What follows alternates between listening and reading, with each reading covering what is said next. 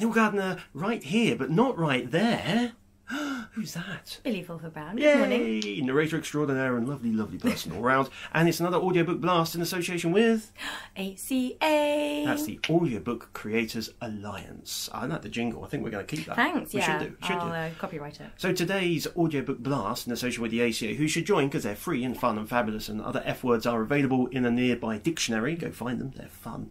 Uh, is all about what's it all about? It's kind of clothing. Sort of studio etiquette, but yeah, not just being nice. Yeah. Sort No, no, no. We got another video do. on that, Things we? to do Yeah. and not do. Yeah, so things to think about when you're going into a studio or your own booth, of course, at home, um, but mostly to do with clothing, really, uh, from particularly from a gentleman's point of view. So, from a gent's point of view, think about the clothing you're going to be wearing in the studio because it can all make noise. That's the thing. But also, studios can get quite warm. Um, so, for example, when I go into narrate, I always have a shirt, obviously, but I have a t-shirt underneath. This one's got a cat on it, of course. Uh, no surprise there. And so, if it's getting really warm, I can take this off, but still not reveal all my exciting manliness to the world. Um, things like leather belts for gentlemen. Um, think about a leather belt quite creaky around the belly area, so you might want to change it to a plastic belt or just undo the belt. Don't worry, we're not looking. I promise you, you your, your, your privacy is secure. At least here, I can't promise for every studio.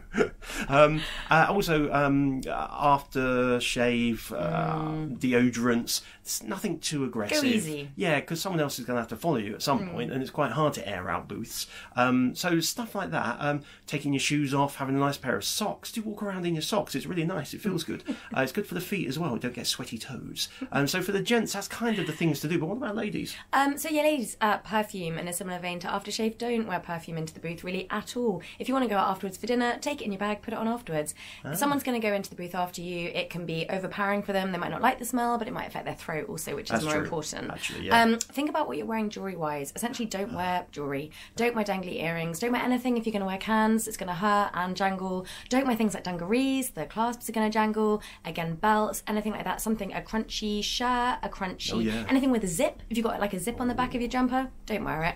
Anything that's going to jingle, leave it at home. Yeah. Or remember to take it off before you go in the booth at least, and have a little bag to put it in. True. And if it gets cold, like Neil was saying, take some bed socks, take something cozy. If you know you're a person that gets cold, take a scarf that you can pop over your knees and have layers that you can take off if you get too hot. So Billie always has the fluffiest socks I've ever seen. I do have very fluffy socks. Very fluffy socks. And for everyone, actually, is one I always forget ticking watches. uh, I know most people have like smart watches or digital watches. Oh, And Fitbits that beep if you get a message. things that beep, turn off all the sounds on Vibrate. your iPads, vibration, all that, all that exciting stuff. But particularly watches. If you're into that kind of new thing of having an old retro style watch with actual ticking motion, Yeah. um, the mics can pick it up.